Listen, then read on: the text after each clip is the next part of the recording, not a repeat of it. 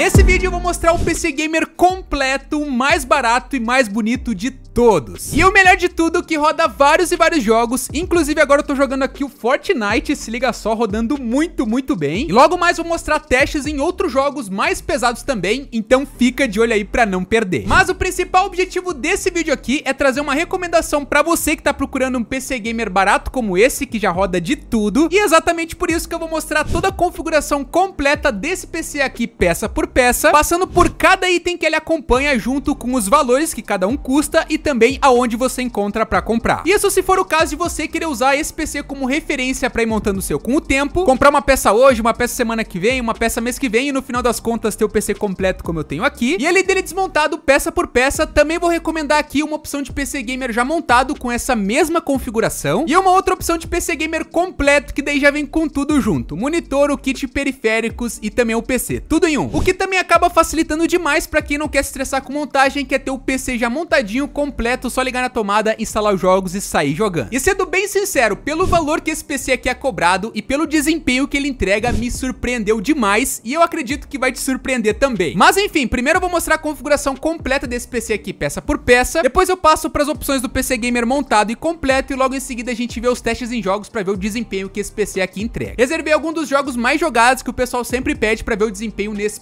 Aqui. Então fica aí para conferir, bora logo pro vídeo agora. E para ficar mais fácil eu mostrar essa configuração completa do PC peça por peça, eu criei essa planilha com todos os itens e todos os links, que são os mesmos que eu vou deixar aqui embaixo, tudo organizadinho na descrição. Então se você quiser dar uma olhadinha mais detalhada em cada um dos itens peça por peça ou até mesmo comprar alguma delas, está tudo aqui embaixo. Também tem uma coluna de valores que por enquanto ela tá vazia, porque conforme eu for mostrando os itens eu vou adicionando com o valor mais atual, para depois no final a gente fazer a somatória aqui só do PC e também do PC Gamer completo para ver quanto é que sai o valor total. Ah, e aqui embaixo quase que não dá pra ver, tem o um anúncio do PC Gamer montado e também do PC Gamer completo, que eu vou mostrar um pouquinho depois ali pra vocês, depois que a gente terminar de ver a configuração peça por peça aqui dele. Mas enfim, então vamos lá começar com a configuração aqui do PC peça por peça, e o primeiro item que eu vou mostrar aqui pra vocês é exatamente esse que tá aqui na minha mão, o processador. Que inclusive é o item mais importante aqui do PC, é o que vai definir o desempenho aqui dele por conta desse processador, que é o 5600 GT, exatamente esse que tá aqui na tela, um processador que inclusive ele é lançamento, e o principal motivo desse processador aqui ser o mais importante item desse PC é por conta da placa de vídeo integrada que tem dentro dele. Essa placa de vídeo, ela é dentro do processador, então é como se o processador fosse dois em um com placa de vídeo e processador, e o melhor de tudo é o valor dele, que hoje tá por volta de 900 reais, às vezes tem uma promoção de 850 por aí, e levando em consideração que ele tem um ótimo desempenho, realmente entrega um desempenho muito bom, logo mais vocês vão ver aí nos testes que eu fiz, e pelo preço que ele entrega,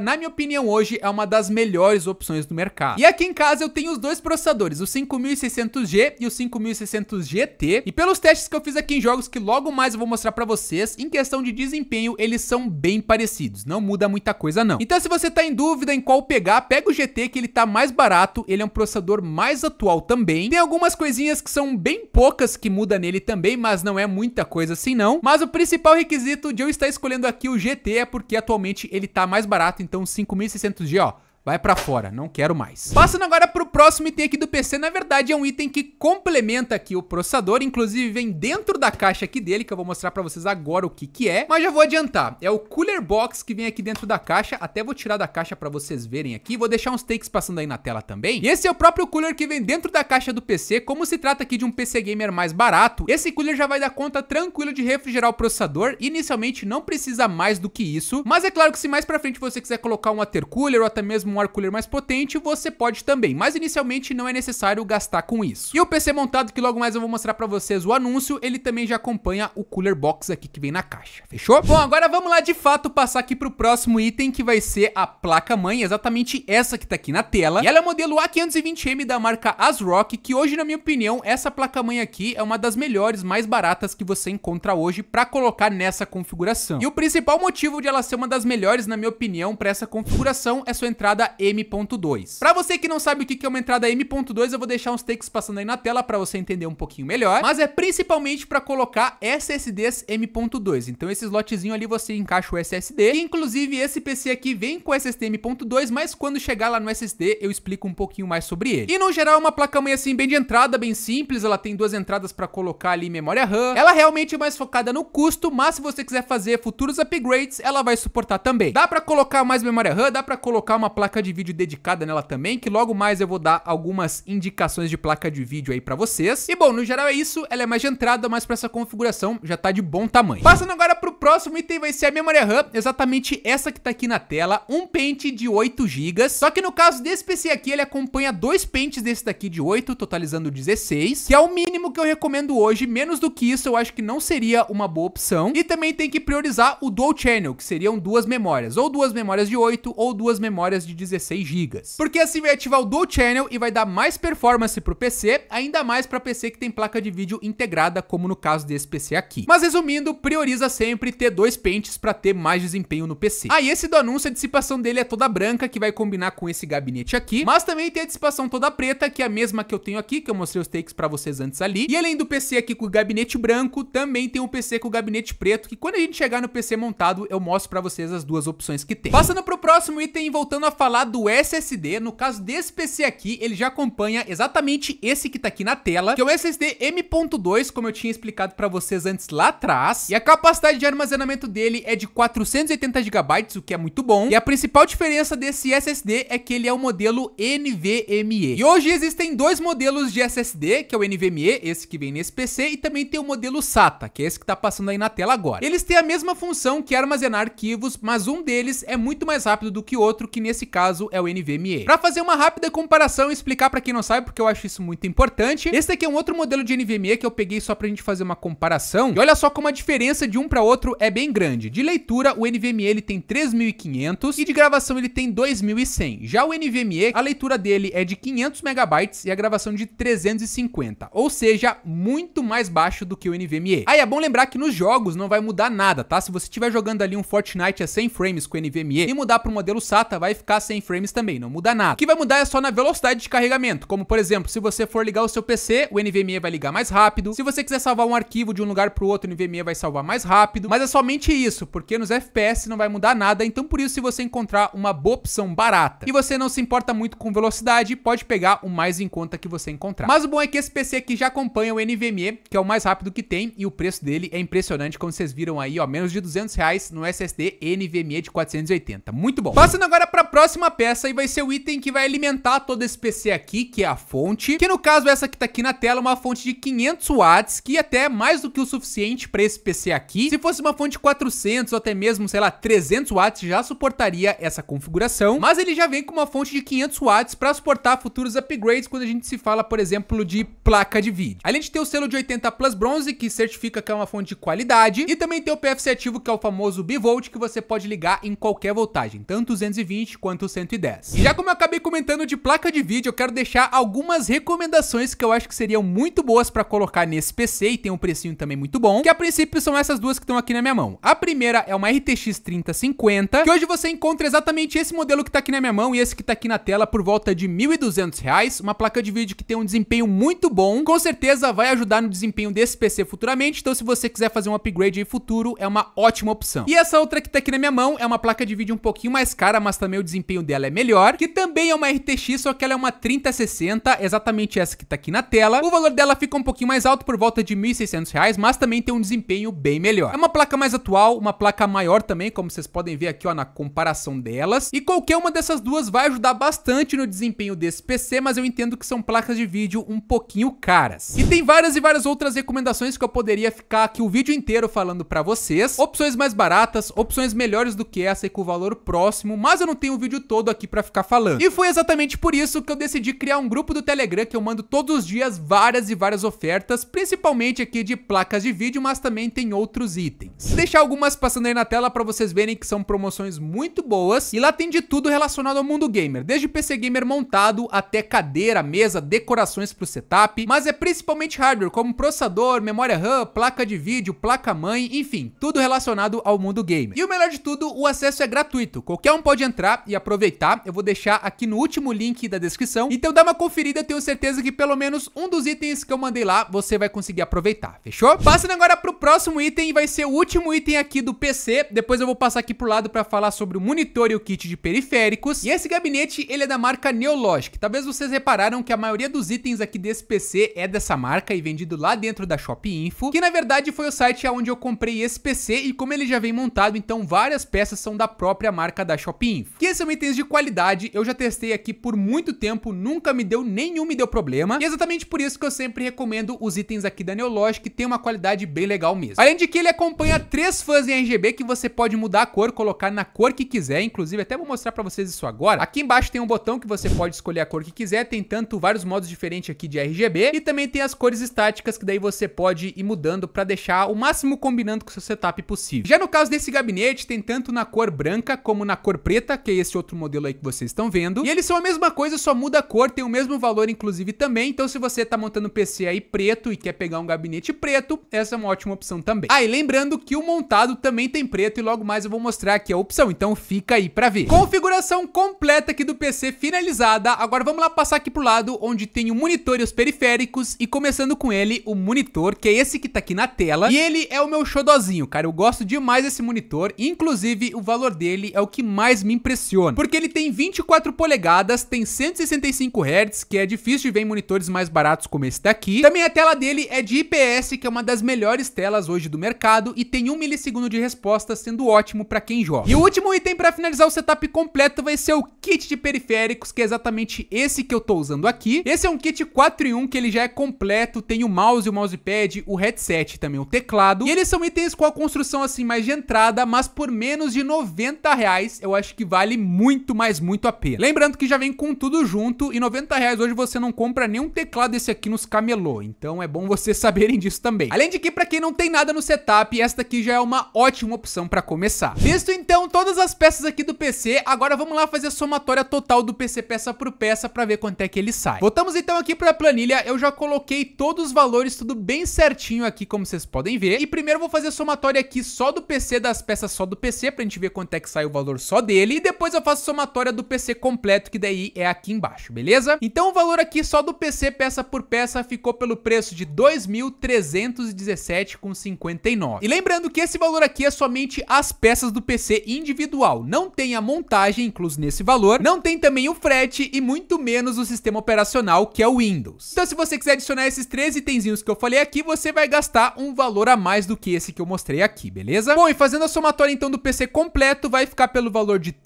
3.056,50 e lembrando só as peças. E até que a montagem e a instalação do Windows você pode saber fazer, você pode fazer em nossa casa, mas o frete não tem como escapar. E se você comprar esses itens tudo numa mesma loja, eu acredito que o frete vai sair ali no máximo uns 50 a 100 reais. Mesmo assim, já vai aumentar esse valor aqui, então tem que lembrar que esse não é o valor final. Mas se você não quer se estressar com montagem, quer ter o PC completo, montadinho, prontinho para jogar, como eu tenho aqui em casa, eu vou mostrar para vocês agora as duas opções, tanto de PC Gamer montado quanto de PC Gamer completo, que vai facilitar demais para você que não quer se estressar com a montagem. E o primeiro que eu vou mostrar então vai ser o PC montado, que é exatamente esse que tá aqui na tela e é o mesmo que eu tenho aqui em casa também. E eu sei que a primeira coisa que você olhou foi o preço, mas esse valor tem como a gente baixar e baixar bastante, logo mais eu vou mostrar para vocês como é que faz. Mas só mostrando o anúncio para vocês, é a mesma mesma configuração desse meu PC que eu tenho aqui, Ryzen 5 5600 GT, 16 GB de memória RAM em Dual Channel, tem SSD também que é o mesmo de 480, em M.2 NVMe e a fonte de 500 watts. A mesma coisa desse meu PC aqui e o gabinete branco também. Tem um pouquinho mais detalhes aqui embaixo, se vocês quiserem ver as especificações mais detalhadas, dá pra ver aqui embaixo tudo bem certinho. E além do gabinete branco, também tem um gabinete preto, que inclusive fica o valor mais em conta. E também ele é muito bonito, como a gente pode ver aqui, então tem essas duas opções aqui do preto e do branco, que é um pouquinho mais barato. Bom, e sobre o valor, ele sim é um pouco mais caro do que o PC peça por peça, porque nesse caso o PC ele já vai vir montado, tem o Windows instalado também para você só ligar na tomada, instalar os jogos e sair jogando, e o frete é de graça para várias e várias regiões aí do Brasil. Então, por conta desses três itens aí que já vem prontinho nesse PC, ele acaba sendo um pouquinho mais caro, mas como eu falei, tem uma forma de você deixar ele mais barato ainda e é utilizando esse cupom de desconto aqui embaixo. Esse cupom agora ele tá dando 100 reais de desconto, então é um desconto jamais visto em qualquer outro site. E em vez de sair 2.690 reais, ele vai sair por 2.590 reais, como vocês podem ver aí. E se a gente for comparar o PC montado com o PC peça por peça, o valor aqui de diferença entre eles vai ficar 272 com 31. E mesmo eu que tenho experiência com montagem, prefiro pegar o PC já montado, porque para mim me otimiza muito mais tempo. Assim que o PC chegar na minha casa, eu já consigo sair jogando, e se eu pegar ele peça por peça, eu vou ter que fazer a montagem, então vai demorar um tempinho ali também. E agora para finalizar, e antes de a gente ir aqui pros testes, eu vou mostrar o PC Gamer completo, que é exatamente esse que tá aqui na tela. Ele vem exatamente com esses mesmos itens que eu tenho aqui no meu setup, a mesma coisa, e o valor dele vocês já podem ver que tá na faixa de 3.500 reais. Mas também você pode utilizar o cupom de desconto, que vai dar 100 reais, então ele vai sair por 3.399,90. Mas se você escolher pelo modelo todo preto aqui, o valor vai ficar mais barato ainda, e a diferença entre o PC peça por peça e o PC montado vai ficar mais baixo também. Então mesmo gastando por volta de 200 reais no PC montado ou 300 no PC completo, eu ainda acho que vale a pena, porque nesse caso já vem com tudo pronto e não precisa ficar se estressando com outras coisas aí. Bom, então todos os detalhes desse PC aqui visto, agora chegou a grande hora dos testes pra gente ver o desempenho que ele entrega aqui. Mas antes disso, rapidinho, eu vou pegar aqui a câmera e vou gravar um pouquinho mais os detalhes de cada item aqui na parte de dentro do PC, mas é coisa rápida. Depois a gente vai lá pros testes. Então confere aí, já vou começar aqui a gravar pra gente ver os detalhes mais profundos aqui do PC. Se liga só. E é assim que ele fica aqui completo, todo montado aqui em cima da minha mesa. E é exatamente o mesmo setup com os mesmos itens que vem lá na Shop Info, aquele PC completo que eu mostrei antes pra vocês. E o bom disso é que quem se interessou naquele PC e tem ideia de comprar e olhar um pouco mais detalhes de cada coisinha, eu vou mostrar aqui agora, começando com o item principal, que é o PC. Bom, então começando com o gabinete, é esse daqui que tem essas três fãs RGB que já acompanha nele. E essas fãs você consegue mudar o LED RGBs dela clicando nesse botão aqui, ó, do painel frontal do gabinete. Mas eu prefiro deixar nesse LED todo em RGB que chama bem mais atenção e eu também acho bem mais bonito aqui no PC. Indo agora para a parte interna aqui do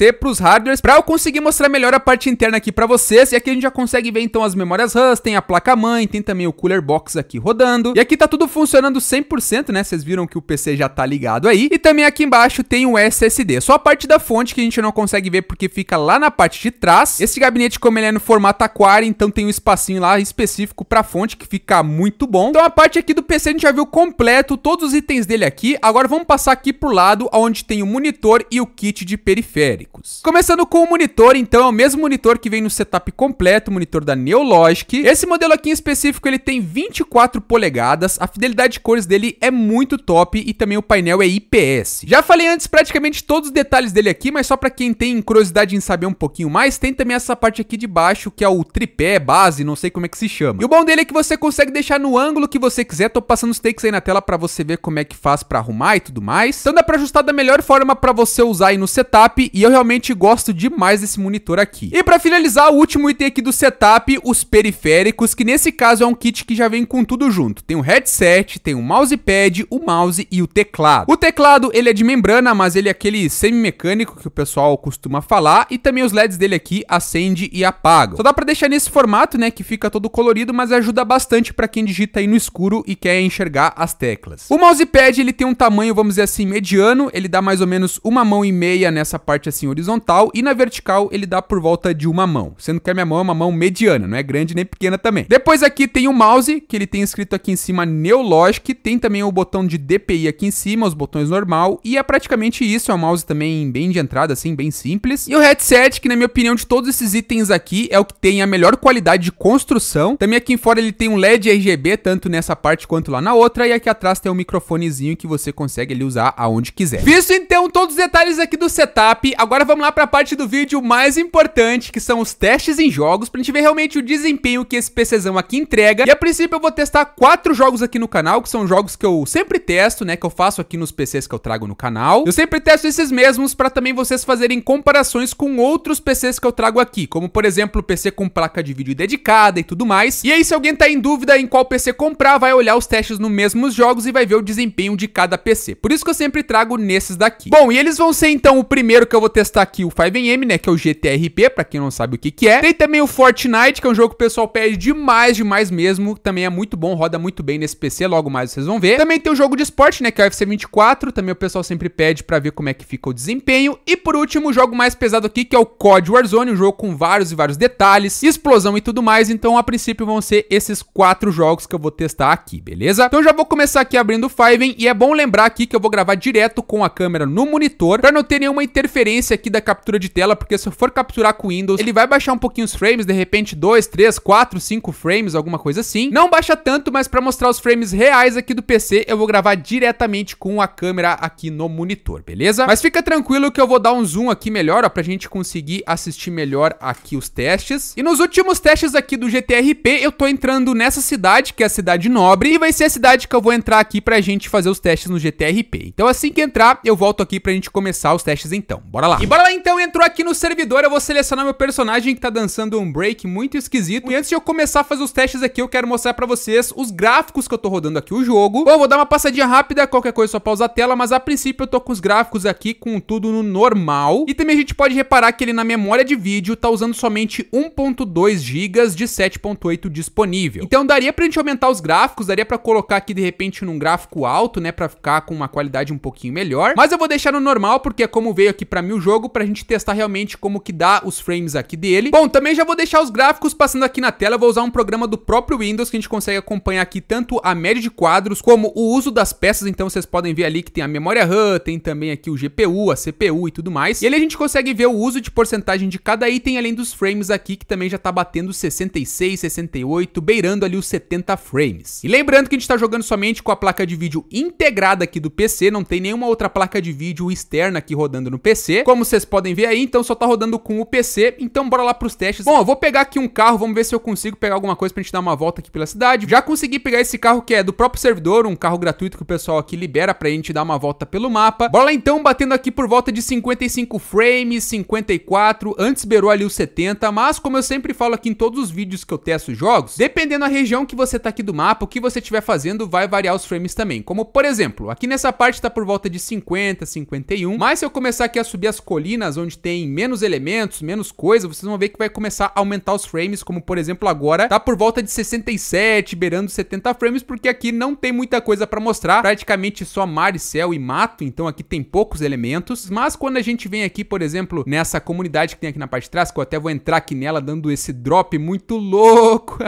se liga só, entrando aqui como já vai diminuir os frames, então antes ali rodou por volta de 60, agora sim que deu ruim aqui. Aqui dentro até que tá batendo ali 74, mas quando a gente vir pra essa região que tem mais coisa, agora já diminuiu pra 65, eu até vou pegar um carro aqui pra gente conseguir dar uma volta aqui dentro da comunidade, vamos lá então dar um rolezinho. E o legal desse servidor é que ele tem essa extensão de mapa, e agora vocês já viram também que os gráficos já baixaram, só eu pegando o carro aqui já baixou uns 10 frames, pra vocês verem que muda bastante mesmo. Eu quero subir aqui a escadaria pra gente ver como é que fica a visão geral aqui da cidade, inclusive tem até a caixa d'água aqui, ó, vou subir aqui em cima também, vamos ver se eu consigo subir aqui em cima de algum lugar. É difícil, hein? Meu Deus, tombei, tombei, caí. Bom, agora eu saí aqui, não sei nem como é que eu vou conseguir entrar de novo, mas enfim, né? A gente conseguiu ver então como é que fica os frames ali dentro, também aqui fora, pra gente fazer uma breve comparação. E também vocês viram que muda bastante os gráficos dependendo da região que a gente tá. E também tem um helicóptero aqui. Vamos ver se eu consigo pegar esse helicóptero aqui. Consegui, cara. Consegui. Vamos dar uma volta de helicóptero então. Na verdade, eu não sei nem como é que pilota isso aqui. Deixa eu ver como é que faz. Tô jogando por um tempinho, tá ficando aqui na média de 57, 56. Vou subir no máximo que dá aqui pra gente ver também o visual da cidade completa. Olha só, aqui a gente já consegue ter um visual um pouquinho melhor aqui do mapa. Então dá pra ver tanto lá a parte da cidade, lá no fundo. E tá mantendo nessa faixa aí de 61, 59 frames, o que na minha opinião tá muito, muito bom. Bora lá pro próximo teste, que é um dos jogos mais pedidos aqui pra testar nos vídeos, que é o Fortnite. Vou selecionar uma partida e assim que começar a gente volta aqui pra testar. Bora lá esperar então. E bora lá então, pessoal, partida começando. Vamos lá pular desse ônibus muito louco aqui. E a princípio eu já posso garantir pra vocês que tá com um gráfico muito bonito aqui, muito bonito mesmo. E antes de a gente pousar aqui no chão, já vou mostrar pra vocês os gráficos que eu tô rodando aqui na tela. Então vou vir aqui embaixo na parte de gráficos. E tá com a pré-definição com a qualidade no médio. E também aqui embaixo, como vocês podem ver, a princípio tá com tudo no médio aí também. Bom, inicialmente vamos testar assim. Eu vou deixar também com os gráficos passando aqui na tela. E qualquer coisa, se eu sentir necessidade, eu baixo os gráficos aqui pra gente ver como é que vai manter o jogo. Bom, bora lá então. Gráficos já estão aqui na tela e a princípio tá rodando por volta de 40 frames. Lembrando que nessa parte aqui de cima acaba carregando o mapa inteiro. Então por isso também acaba deixando os frames um pouquinho mais baixo. Mas assim que a gente chegar lá no chão, inclusive até eu vou tentar ir o mais rápido possível pra mostrar pra vocês. Bom, bora lá. Vou tentar pousar mais ou menos aqui nessa parte da grama. E vocês podem ver que conforme eu vou chegando mais perto aqui do solo, vai aumentando os frames também. Antes estava por volta de 39, 40, agora já foi lá pra 46, 47 e pousando aqui eu acredito que vai ficar por volta de 50 frames, lembrando que a gente tá jogando aqui com os gráficos no médio, tá? Então dá pra gente diminuir e ter os frames mais alto ainda. Então eu vou pegar aqui uma árvorezinha só pra gente ver como é que fica a parte da construção também. E olha só, já vou fazer aqui uma construção básica só pra vocês verem como é que fica aqui a parte de frames e a princípio manteve na mesma taxa de frames ali, não mudou muito mais do que 40 frames aí. E agora só pra gente ter uma diferenciação aqui pra gente ver se vai mudar muitos gráficos, eu vou diminuir aqui a pré-definição pro baixo, vou clicar aqui em aplicar e testar e vamos ver se vai diminuir muita coisa, se vai ficar a mesma coisa aqui. E olha só, só diminuindo do médio pro baixo já deu uma grande diferença. Antes a gente tava rodando por volta de 50 e agora a gente tá rodando aqui por volta de 77 frames. Então a gente pode ver que sim, agora já aumentou até para 60, então dá pra ver que tem uma grande diferença aqui mudando do médio pro baixo. O gráfico em si não muda tanto e já tem gente aqui me atirando e já fui de base. Bom, mas enfim, a gente conseguiu ver aí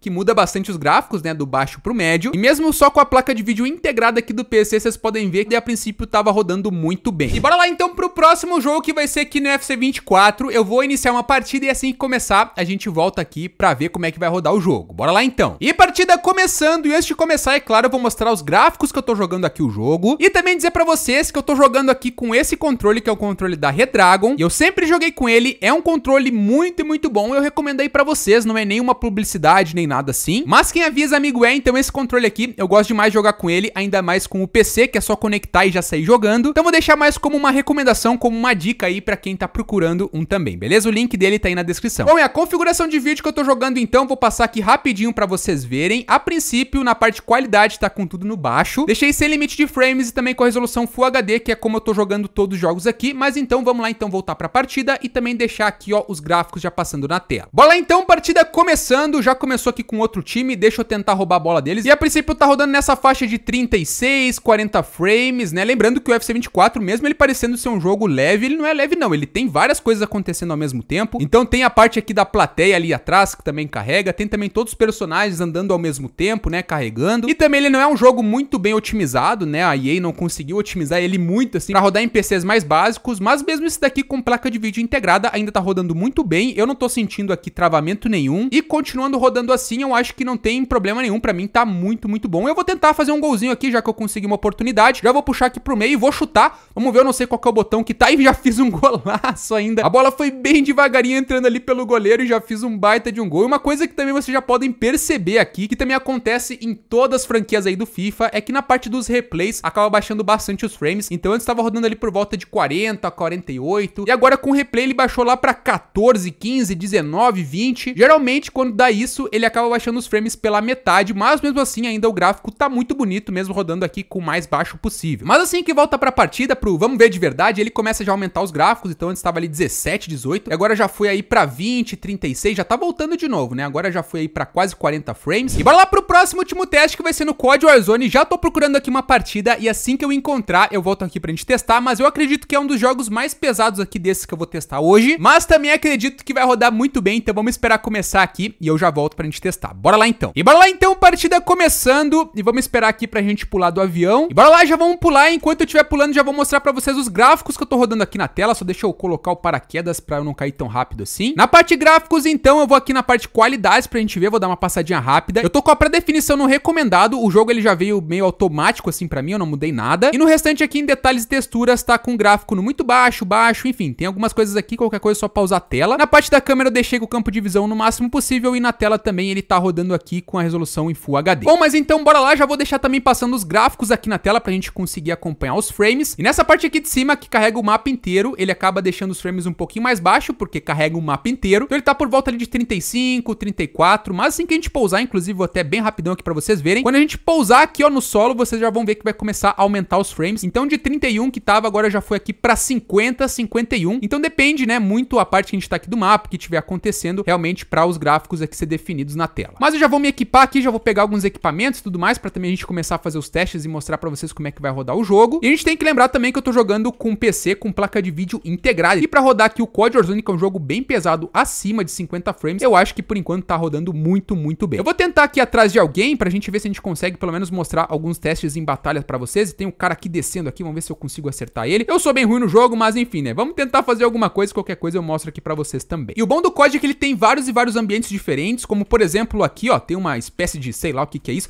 E tem um cara aqui, porra, ai, ai, ai, ai, ai, ai, ai, troca, troca. Ah, não deu tempo, cara. Voltando a falar o que eu tava falando antes, aqui no COD tem vários ambientes diferentes. Então tem essa parte aqui de cima, que acaba pesando um pouco mais, tem as partes aqui do subsolo também, tem as partes de cima da casa, que dependendo onde você tá aqui, dependendo do ambiente que você tá, vai pesar diferente o jogo, e eu já morri de novo aqui, cara, só mostrando pra vocês o negócio. Mas enfim, o COD é assim, mas pelo menos já conseguiu ter uma ideia de como que vai rodar aqui o jogo, e mesmo só com a placa de vídeo integrada aqui do PC, vocês podem ver que a princípio tava rodando muito bem. E como a gente acabou de ver então, além de o PC ser bonito, ser barato, também ele roda vários e vários jogos, inclusive muito bem, como vocês acabaram de ver nos testes que eu fiz aqui nele. Além de também, como eu já falei diversas vezes, suportar futuros upgrades, então se no futuro você quiser colocar uma placa de vídeo dedicada para aumentar a performance dele, ele vai suportar sem problema nenhum. E com isso vai ser um PC que vai te durar anos e anos sem você precisar trocar nenhuma peça principal, já que os itens dele são bem atualizados, é só você ir fazendo alguns upgrades, colocar placa de vídeo, water cooler, até mesmo aumentar a memória RAM, com o tempo deixar ele cada vez melhor. E bom, eu espero do fundo do coração que vocês tenham gostado muito e muito desse vídeo, se você gostou já sabe, né? Deixa aquele likezão pra ajudar aqui no canal, e se puder também se inscreve no canal, ativa o sininho pra continuar acompanhando o conteúdo que eu posto por aqui. Sempre tô mandando vários vídeos com várias configurações diferentes, vários PCs gamers com vários valores diferentes também, e o grande principal motivo aqui do canal é te ajudar pra você conseguir conquistar os seus sonhos, e até mesmo por isso eu vou deixar duas recomendações de vídeo aqui no canto, que um vai ser o próprio YouTube que tá sugerindo pra vocês, o vídeo que ele mais acha que você vai gostar, e o outro vai ser o último vídeo que eu postei aqui no canal, então dá uma olhadinha se você gosta desses dois e clica aí pra continuar assistindo aqui o canal, fechou?